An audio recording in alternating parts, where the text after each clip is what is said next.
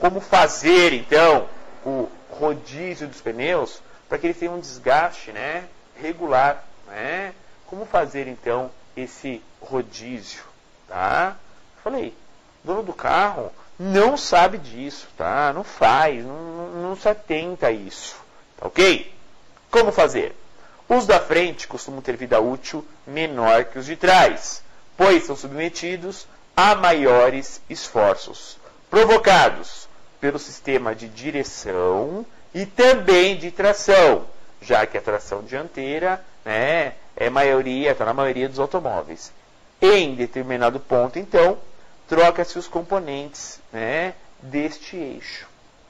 Então, é comum ter o desgaste maior no eixo de tração. Ah, a direção também contribui, mas contribui muito pouco com isso. Tá? É simples. Peguem aí na oficina, Kombi, carro tração traseira. Poxa, a direção continua na dianteira. Qual desgasta mais? Traseira ou dianteira da Kombi? Traseira. Caminhonetes. Qual pneu desgasta com maior frequência de caminhonetes? Traseira ou a dianteira? A traseira, com toda certeza. Então, onde temos a tração, teremos um desgaste um pouco mais acentuado.